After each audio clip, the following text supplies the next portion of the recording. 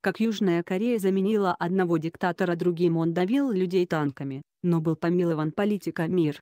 Полночь 6. 26 ноября 2019 года лейтенант Принцип как Южная Корея заменила одного диктатора другим, он давил людей танками, но был помилован. Фото. National Archives of Korea, Wikimedia. Северная Корея – это разруха, голод и диктатура, а Южная – рай с Самсунгом, кей-попом и демократией. Примерно так рассуждают люди, воспитанные на антикимовской пропаганде. Между тем реальность куда сложнее и интереснее. Специально для ленты.ру известный российский кореист Константин Осмолов написал цикл статей об истории Корейского полуострова и двух государств, бывших некогда одним целым. В прошлый раз мы рассказывали, как в Северной Корее вожди пытались насадить правильную культуру и выстроили подобие экономики, потерпевшей в итоге крах. В этот раз речь пойдет о том, как в Южной Корее 1980-х одна диктатура сменилась другой, Протестующих давили танками, а события тех дней настолько обросли мифами, что в них не могут разобраться до сих пор. 6 декабря 1979 года через месяц с небольшим после убийства южнокорейского президента Пак Чон Хи исполняющим обязанности главы государства был назначен премьер-министр Чеха Вэя Гюха, хороший управленец без политических амбиций. Он сохранил конституционную систему УСИН, направленную на централизацию власти но выпустил из тюрем политзаключенных, в том числе главного оппонента покойного диктатора Ким Дэ Чжуна, который в то время находился под домашним арестом. Новый лидер также обещал вскоре провести референдум по подготовке новой конституции и всеобщие выборы. Не без давления США Чехавейе заявил о грядущей дюсинизации и начал делать активные шаги в этом направлении. Однако стабилизировать обстановку политик не сумел. Его действия были практически сразу же пресечены новым поколением высшего офицерства. В результате уже через шесть дней после избрания Чеха В. Гюха 12 декабря в стране произошел государственный переворот, организованный руководителем военной разведки генералом Чон Ду Хваном как и пришедший до него к власти после переворота Пак Чон Хи, Чон Ду Хван происходил из бедной семьи, где был седьмым ребенком из десяти. Но Чон был 1931 года рождения и относился уже к новому поколению людей, чье взросление выпало не на период японского правления, а на Корейскую войну и смутное время после нее. В 1951 году он поступил в военную академию, где был капитаном футбольной команды и получил прозвище «Лейтенант Принцип» за прямолинейность и пристрастие к дисциплине. Широкую известность получила история о том, как он избил двух солдат, пытавшихся угостить его сигаретами. Он расценил это как попытку дать взятку. Важно, однако, именно то, что Чон окончил академию в 1955 году и стал представителем так называемого 11 выпуска, который первым был обучен по американскому образцу. В итоге, в отличие от Пака, которому было тяжело общаться с американцами, он гораздо лучше представлял себе, кто они такие, и как надо с ними вести дело. Чон Духван, 1955 год, фото. The Picture Art Collection, Alami, Diomedia. В 1963 Чон был назначен начальником отдела кадров Корейского Центрального разведывательного управления. На следующий год он вместе с несколькими одноклассниками создал тайное общество Ханахви, общество единого. Его члены обязывались быть патриотами своей страны и помогать друг другу по службе. В дальнейшем он в том числе организовывал преследование северокорейских командос, в 1968 атаковавших Голубой дом, резиденция президента, и командовал полком элитной штурмовой 9-й дивизии «Белая лошадь» во Вьетнаме в 1970-1971 годах. Кстати, во Вьетнаме Чон требовал от своих подчиненных, чтобы они всегда носили чистое исподнее, дабы в случае смерти враг не увидел ни свежее белье. Затем он был командиром первой дивизии, дислоцированная на стратегическом направлении к северу от Сеула. Перед самой смертью Пака Чон стал помощником начальника службы безопасности Голубого дома, а позднее начальником управления обороны и безопасности, военной разведки. Таким образом он мог сдерживать и контролировать вражду между корейским ЦРУ и личной охраной президента, следствием которой стало в свое время убийство президента Пак Чон Хи главой разведуправления Чеха Вэя Гюха фото. Public Domain Wikimedia. Некоторое время в стране продолжали существовать старые структуры, но реальная власть все больше и больше концентрировалась в руках Чона. В апреле 1980 года он стал руководителем ЦРУ Южной Кореи, при этом оставаясь на военной службе. Это вызвало массовые протесты. ЦРУ, невзирая на весь свой политический вес, рассматривалась как гражданская организация, связанная с правительством, а не с армией. Затем Чон провел большую чистку в силовых структурах и уволил офицеров, заподозренных в связях с заговорщиками. Историк Майкл Брин приводит цифру в 8 тысяч уволенных. По широте охвата, смехотворности обвинений и сопутствующей обстановки он сравнивает эту чистку с проходившими на севере. Американцы заняли выжидательную позицию и относились к Чон Духвану с осторожностью. Вызвано это было позицией их посла в стране, который считал Чона лжецом и политиканом. Тот же активно добивался одобрения Соединенными Штатами занятия им президентской должности и пытался разыгрывать при этом северокорейскую карту. В рамках такой стратегии 13 мая 1980 года Чон заявил, что за спиной студенческого движения и левых радикалов стоит КНДР. На следующий день в Сеуле развернулась массовая студенческая демонстрация, названная Сеульской весной и провозгласившая приверженность великому шествию демократизации. 15 мая демонстрации достигли кульминации. Перед Сеульским вокзалом собралось более 100 тысяч человек. В последний раз выступления такого масштаба происходили в стране во время Апрельской революции 1960 года. 17-18 мая Чон Ду Хван в ответ провел широкомасштабные аресты среди членов оппозиции, разогнал Национальную ассамблею и объявил полное военное положение вместо частичного, которое было до того. Общее число участников антиправительственных выступлений в стране за апрель-май 1980 года превысило 200 тысяч человек. Тиньаньмэнь по-корейски.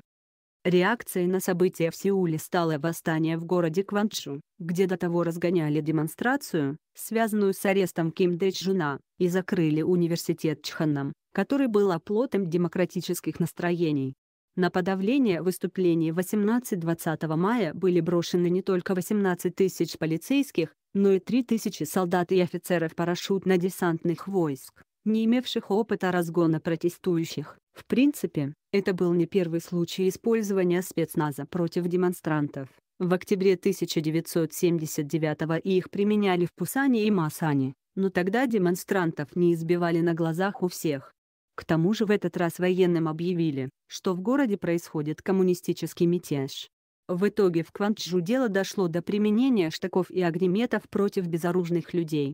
Солдаты не только разгоняли демонстрации, но и врывались в кафе и автобусы, избивая всех молодых людей студенческого возраста, и даже убивали таксистов, которые пытались отвозить в больницы пострадавших. Когда стало известно, что в столкновениях погибло много мирных граждан, к студентам присоединились горожане, беспорядки переросли в широкомасштабное восстание. Ситуацию усугубили слухи о том, что часть солдат находилась под действием наркотиков а ответственные за вспышку жестокости люди были родом из города Тегу. Жители Кванчжу и Тегу традиционно относятся враждебно друг к другу. 20 мая вышедшие на улицы сожгли представительство проправительственной телерадиокомпании MBC. Восставшие штурмовали полицейские участки и правительственные учреждения, захватили склады с оружием и 350 единиц автотранспорта, в том числе три бронетранспортера, Опасаясь массового кровопролития, власти вывели спецподразделения из города. Солдаты ведут схваченных протестующих в Кванчжу фото. Сейда Юки Миками, AP. Восставшие же захватили управление провинциальной администрации, сформировали свои органы власти для обеспечения порядка и переговоров с центральным правительством, организовали доставку в город продуктов питания. Среди вставших во главе города преобладали молодые радикалы. Их план заключался в том, чтобы продержаться как можно дольше и либо героически погибнуть, продемонстрировав тем самым варварство военного режима, либо добиться вмешательства США, которые должны были вступиться за демократию. 25 мая для разрешения ситуации в Кванчжу прибыл президент Чехова Егиуха. Однако поскольку реальной власти у него не было, переговоры ничем не кончились. Восставшие требовали отмены чрезвычайного положения и отставки Чон Духвана. Созданный ими городской совет обратился в посольство США с просьбой вмешаться в ситуацию. Многие авторы, не только левые, обращают внимание на то, что стихийно возникшая в городе система управления более напоминала Парижскую коммуну или органы власти первых демократических правительств. В городе не было погромов, не трогали банки и офисы крупных фирм, практически не было коммунистических лозунгов. Наоборот, власти пытались контролировать наличие оружия в частных руках и активно опирались на помощь религиозных авторитетов, а созданные отряды по поддержанию порядка писали на машинах американскую аббревиатуру SWAT – спецподразделение полиции. Ранним утром 27 мая в Кванчжу вошли танки, и в течение полутора часов основные правительственные учреждения были взяты правительственными войсками. Захват города произошел очень быстро и организованно и воспринимался властями как успешная военная операция. По сообщению историка Владимира Федоровича Ли, в результате 77 солдат и офицеров были награждены государственными орденами и медалями за выдающиеся боевые заслуги во время народных волнений в Кванчжу. Корейская история, в свою очередь, обогатилась знаковым событием, надолго ставшим символом подавления оппозиции. В слухи о том, что это были провокации коммунистов, никто не поверил. Никаких прямых доказательств северокорейского влияния на события не было обнаружено даже впоследствии. А вот японское телевидение снимало восстание достаточно активно. На пленку запечатлели множество кадров, демонстрирующих военные преступления режима, в том числе людей, раздавленных танками. Сведения об общем числе пострадавших различаются в зависимости от ангажированности авторов. Власти говорили о 150-200 погибших, диссиденты о 10 тысячах жертв, не уточняя, сколько среди них было убитых, раненых и подвергшихся репрессиям. Ближе всего к реальности цифра о 2 тысячах погибших. Она получена путем анализа статистики умерших в городе в мае 1980 по сравнению со средними показателями за этот месяц в другие годы. А если считать всех раненых, арестованных и пропавших без вести, то общее число пострадавших около 4000 человек. Тела погибших возле Пекинской площади Тиньаньмэнь в 1989 году фото. AP. Южнокорейские власти же из-за произошедшего создали местный аналог Государственного комитета по чрезвычайному положению, который заморозил Конституцию и запретил политическую активность 210 депутатам Национальной Ассамблеи, 90% от общей численности ее членов. Уволены были 86 профессоров, более 600 школьных учителей и 8,6 тысячи гражданских служащих, закрыты свыше 700 периодических изданий и 600 издательств. Кроме того, 60 755 человек были арестованы без предъявления обвинения, 3,2 тысячи из них оказались осуждены военным судом, а почти 40 тысяч отправлены в так называемые образовательные лагеря, о которых мы поговорим в следующем материале. 16 августа 1980 Го Чехава Гуха ушел в отставку с поста президента страны. Через неделю Чонду Хван сначала повысил себя в звании до четырехзвездного генерала, а потом ушел в запас, чтобы занять пост президента. Должность он получил 27 августа по процедуре, описанной в Конституции ЮСИН. В октябре того же года в условиях военного положения прошел плебисцит, принявший новую Конституцию. Она ликвидировала прежние атрибуты диктатуры и отменила все нововведения периода ЮСИН, но дала президенту гораздо больше власти, чем парламенту. Под давлением США в основной закон был введен пункт, запрещающий избирать главу государства на второй срок но в то же время продолжительность первого увеличили до 7 лет. 3 марта 1981 года Чонду Хван стал президентом Пятой Республики уже в соответствии с этой конституцией. Роль США С восстанием в Кванчжу связан очень важный вопрос об ответственности США за произошедшую бойню. Напомним, что корейская армия подчинялась американскому командованию, и потому применение военной силы против мирного населения должен был одобрить Вашингтон. Направить на подавление восстания дивизию из демилитаризованной зоны тем более можно было только с согласия американцев. И если ряд советских историков утверждал, что карательные действия объединенных корейско-американских сил напрямую координировал американский генерал Джон Викхем, что американская точка зрения старается тщательно затушевать участие США в этих событиях. Америка с самого начала выступала за мирное урегулирование проблемы, а ее командование могли либо не проинформировать полностью, либо же добро имело форму не конкретного приказа давить людей танками, а действовать по обстановке. Историк и журналист Дон Абердорфер упоминает, что южнокорейские власти не только оставили без внимания и не опубликовали заявление правительства США с призывом к мирному урегулированию, но, наоборот, раструбили о том, что Вашингтон дал добро на подавление восстания. Однако, хотя Соединенные Штаты не оказывали Чонду Хвану прямую поддержку, они ничего и не предприняли для того, чтобы удержать режим от кровопролития. Несмотря на деятельность президента Джимми Картера по активному насаждению прав человека, посольство просто побоялось создавать опасный прецедент и поддержать горожан в их борьбе с режимом. Конечно, это вызвало определенное брожение умов в США, однако решающую роль в выработке того решения, которое было принято, сыграл дипломат Ричард Халбрук. Он заявил, что вопрос привлекает слишком много внимания, в то время как его нужно рассматривать более широко и с точки зрения интересов национальной безопасности. Танки уходят из города Кванчжу после подавления протеста фото AP. Впрочем, не стоит считать, что дипломаты США не сделали совсем ничего.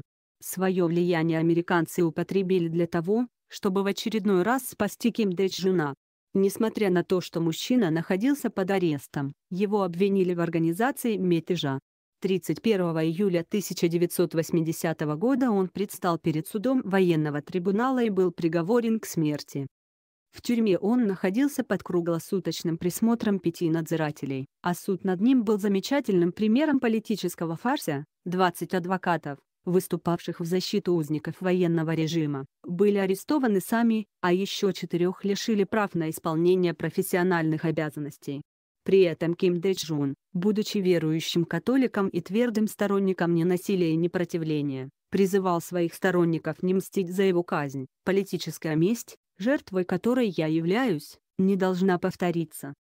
Жизнь заслуженного диссидента была спасена благодаря секретному соглашению. В обмен на поездку Чон Духвана в Вашингтон в феврале 1981 его визит оказался первым визитом иностранного президента в правление Рональда Рейгана. В его ходе президент США несколько раз демонстративно выразил свою поддержку южнокорейскому лидеру. Сделка была тайной, а обошедшие корейские газеты фотографии Регана с Чоном создали ложное впечатление, будто новый президент Республики Корея всегда пользовался американской поддержкой.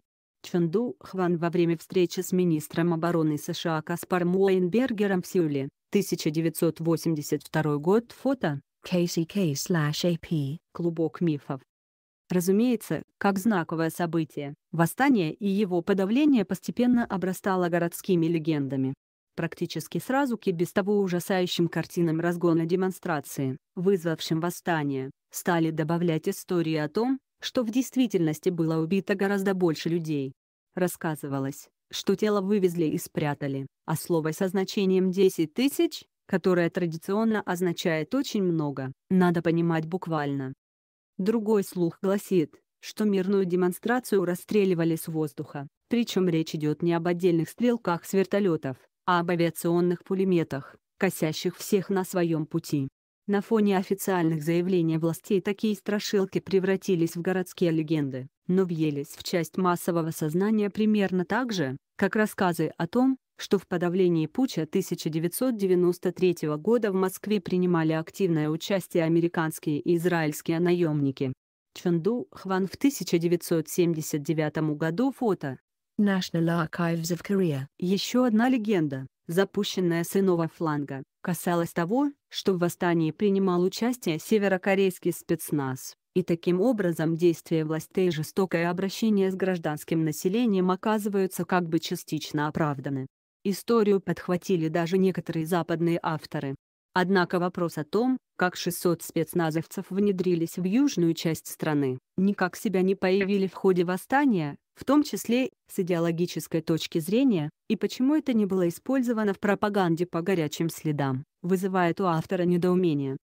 В правлении Мун Чжэина, президент РК с 2017 года, этот миф засветился с неожиданной стороны. Здесь стоит отметить, что находящаяся сейчас у власти условно-левая администрация очень хочет избежать обвинений в том, что она является просеверокорейской. Кроме того, сегодня при описании революций и восстаний моден тренд на сугубо мирный протест. В итоге, с одной стороны, президент специально отметил высказывание о том, что восстание было простым мятежом, а в его проведении участвовали северокорейские войска, является ложью, оскорблением южнокорейской истории и демократизации и даже отрицанием духа Конституции. С другой снова появилась идея о том, что вооруженную борьбу с властями вели не левые активисты, радикальные, и, возможно, просеверокорейские, а засланные провокаторы из числа солдат и полицейских. Правда, Рассказывают об этом довольно странные свидетели, наподобие бывшего южнокорейского агента американского ЦРУ. Тот якобы к старости решил податься в диссиденты и рассказать всю правду. Но вот показания никак не бьются с иными данными и официальными документами, что сторонники этой версии привычно объясняют тем, что власти что-то скрывают. Чонду Хван прибыл в суд города Кванчжу на слушание по делу о его мемуарах. Март 2019 фото F/EPA. Забегая вперед, ответим на вопрос, кто и насколько понес наказание за эти события. В 1992 году Южную Корею возглавил Ким Йон Сам первый гражданский президент. Фактически он получил власть из рук Рот Хэу, который стал президентом после Чон Духвана. Поскольку Ким Йон Сам объявил о наступлении эры демократии, ему было нужно максимально жестко отмежеваться от тех, кто привел его к власти. Он затеял против Чон Духвана процесс, обвиняющий его в коррупции. Но доказательств оказалось недостаточно. Чтобы додавить противников, 20 декабря 1995 года им был принят специальный закон о событиях в Кванчжу. Документ был наделен обратной силой, на его основании Чон Духвана обвинили в преступлениях против конституционного строя и государственной измене. Специальный выбор главного следователя, пропагандистская кампания в прессе и организованные властями массовые митинги напоминали автору политические процессы времен самого Чон Ду Хвана.